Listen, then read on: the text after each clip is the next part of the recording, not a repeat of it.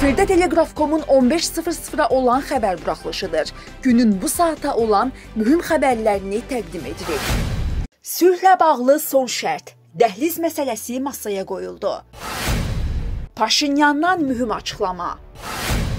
Erdoğan Şuşaya gələcək. İranda Azərbaycanlı namizədin qələbəsi. İyulun 5-də nə gözlənilir? Azərbaycan ordusunun zabiti vəfat etdi. ABŞ-ın son dövrlər Azərbaycanla Ermənistan arasında gedən sülh prosesində yer almaq iddiası və aktivliyi müşahidə edilir. Bu, Amerikada keçiriləcək prezident seçkiləri ilə bağlıdır. Hazırda ABŞ-da seçki prosesi aktiv fazaya qədəm qoyub. Joe Bidenin Amerika prezidenti seçilmək şansı azdır. Donald Trampın yenidən Ağ evə sahib olacaq ehtimalı var.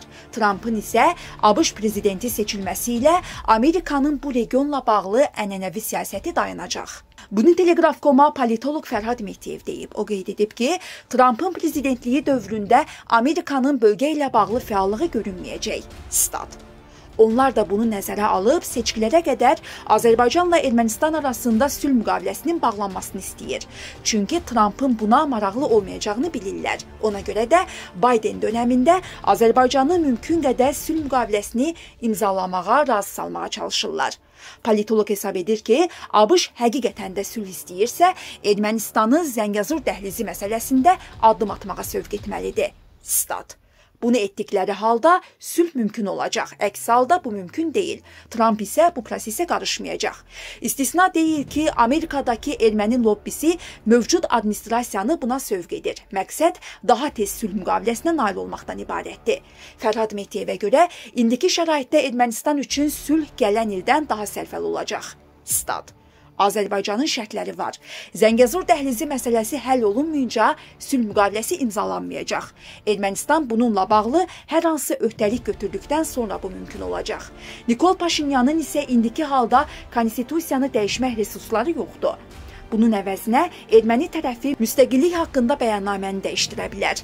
Azərbaycanın ərazi bütövlüyünə əsas qəsd məhz burada əksini tapıb. Həmin bəyannaməni vaxtilə Ermənistan Ali Soveti qəbul edib. Yəni Ermənistan parlamenti bu düzəlişi etmə ixtiyarına malikdir. Belə olan halda bəyannaməyə hüquqi düzəliş ediləcək və Azərbaycanla sülh müqaviləsinə mane olan hüquqi problem aradan qalxacaq. Statın sonu. Ermənistanın baş naziri Nikol Paşinyan ölkədə demokratiyanın keyfiyyətindən narazı olduğunu bəyan edib. O bunu demokratiya uğrunda Ermənistan forumunda çıxışı zamanı deyib. Xüsusilə yerli özünü idarə etmə səviyyəsində seçkilər kifayət qədər siyasiləşdirilməyib, o bildirib.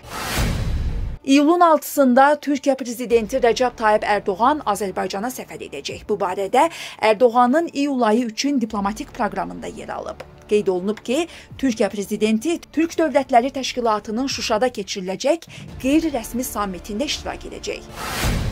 İranda seçkilər gözlənildiyi kimi ikinci tura qaldı. Bu deməkdir ki, seçki prosesi öncədən planlaşdırılan mühafizəkarların birləşməsi ssenarisi üzrə davam edir. Mühafizəkarlar arasında Qalibafın yox, Səid Cəlilinin önə çıxması isə əsas diqqət çəkən məqamdır. Halbuki seçkidən öncə iki namizəd Qalibafın xeyrinə geri çəkilmişdi və o daha loyal fiqur kimi müxtəlif təbəqələr tərəfindən dəstəklənirdi. Bu baxımdan Qalibafın 3 milyon, Cəlilinin isə 9 milyon civarında civarında səs toplaması şübhələrə yol açır. Seçki öncəsi rəy sorğularında da mühafizəkar namizədlər arasında Qalibaf Cəlilidən öndə idi.